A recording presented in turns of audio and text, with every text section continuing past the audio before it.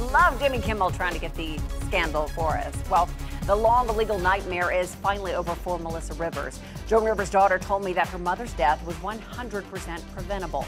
She vowed to get justice, and now Melissa has reached a multi million dollar settlement with the clinic where a simple medical procedure turned tragic, but nothing will ever bring her mother back. How do you contain your anger against the facility and the doctors?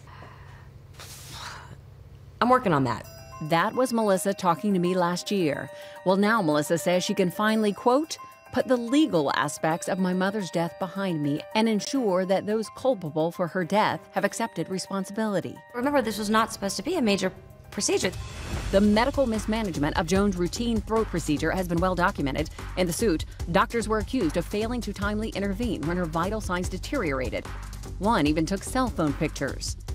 Melissa reached an eight figure settlement with the defendants. Jen Pero spoke with her attorneys today.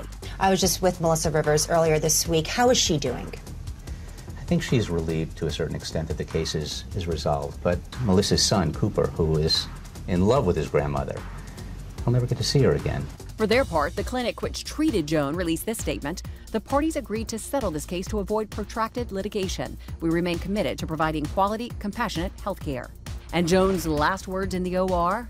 We do know that Joan, uh, before uh, she went under, was talking about how she was going to help somebody who had an autistic child. While Melissa wasn't with her mother during the procedure, she was by her side at the end. I was up by her head and I was holding her hand, and Cooper had his hand on her arm.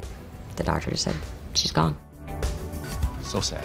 It was such a tough interview to do, I gotta say. Mm-hmm. Well, Melissa says that she is going to continue working to ensure higher safety standards at outpatient surgical clinics, and the fact that lives will be saved will be part of Joan's legacy. Indeed. All right.